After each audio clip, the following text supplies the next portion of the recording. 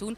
Hier in de tent zijn heel veel mensen die eens langskomen, die ook iets komen komen, kopen aan de kraampjes. Heel veel mensen die hier een kraampje hebben om nog iets zelfgemaakt of iets anders te verkopen voor Rode Neuzendag. En in die tent staat ook eh, Rick. Die staat nu bij drie mensen, drie jongeren die ook zelf in een eh, instelling zitten, als ik me niet vergis, Rick. Ja, ik sta hier bij de coolste stand die ik vandaag al heb gezien in de Rode Neuzentent. Want hier wordt van alles verkocht dat zelf gemaakt is door jongeren die ermee te maken hebben gehad. Ik sta bij Kenzo, Brenda en Wiebe. Hallo Wiebe. Hallo. Eh, jullie zitten op de kinder- en jeugdpsychiatrie in het Azen Sint-Lucas in Brugge. Eh, hoe is dat voor jou? Ehm, goed, dat is een afdeling voor jongeren met psychische problemen.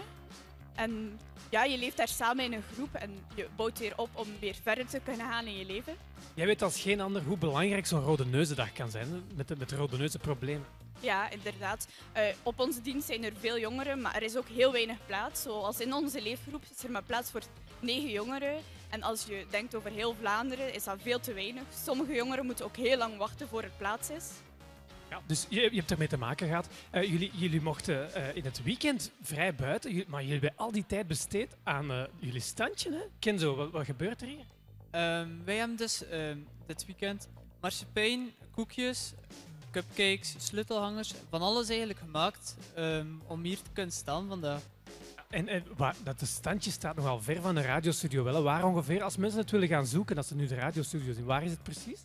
Je kunt het gewoon totaal niet missen. Het staat vlak naast de... Het staat er vlak naast natuurlijk. Maarten en Dood, jullie kunnen het standje zien. hè. Ja. Koekjes, Ja, marsepein en zo. Allemaal door jongeren Ja. die, die er zelf mee En zo ook heel coole totebags en zo die ze zelf gemaakt hebben. Zo van die Welk? tasjes. Ah, toadbags? Ja, dat Totebags, ja, dat is In Maarten, dat is Ja, in, in wordt dat cool over tien jaar of zo. Maar het is echt heel mooi wat ze allemaal gemaakt Ik mag nog even zeggen, wie Kenzo, Brenna, fantastisch dat jullie hier ook jullie tijd aan besteden zelf.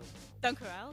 Ja, heel erg cool dat ze dat eh, willen doen, dat ze daar hun tijd in willen steken en dat ze er hier ook over willen komen vertellen bij jou aan de microfoon. Dank u wel daarvoor dat jullie dat allemaal willen doen. En er zijn ook nog